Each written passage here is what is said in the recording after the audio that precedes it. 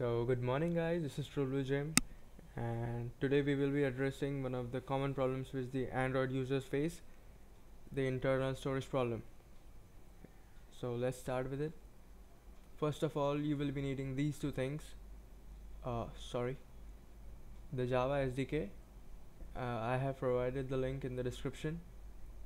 So based upon your computer system, if it is 64-bit, download that following accept it and start the download. And as far as Android SDK is concerned click on download Android Studio go to configure and SDK manager. So after you have done both the things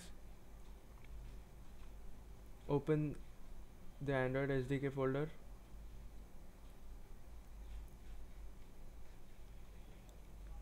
and click on SDK manager. And the following window will be opened.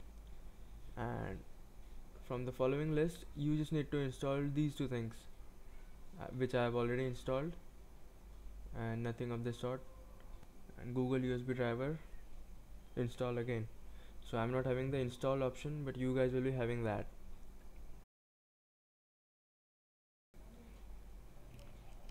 Then go to SDK folder platform tools and right click no actually shift plus right click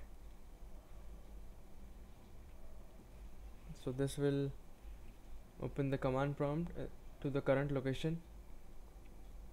And yeah I I forgot to tell you that you need to connect your Android device in the USB debugging mode which can be enabled through settings. This is my Android device Sony Xperia L. Now let's get back to command prompt and type the following command. Adb devices. And press enter. This will show the connected Android devices. Then type the following command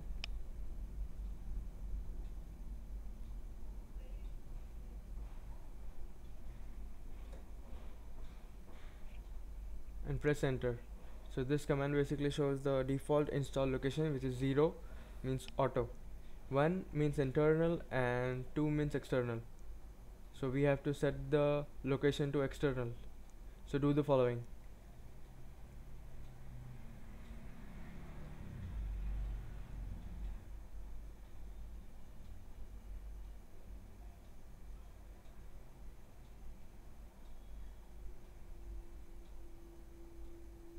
and press enter again.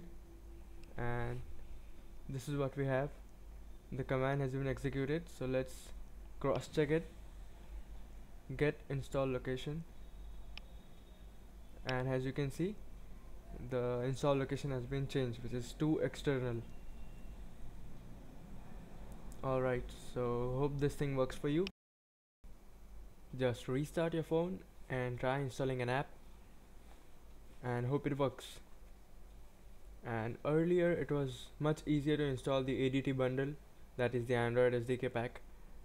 But now you need to download the Android Studio and all. I don't know how it works but in case if you're not getting this folder you can always search over here platform tools. And yeah. This will open the required directory so that's it guys. Hope it works for you. Thanks a lot for watching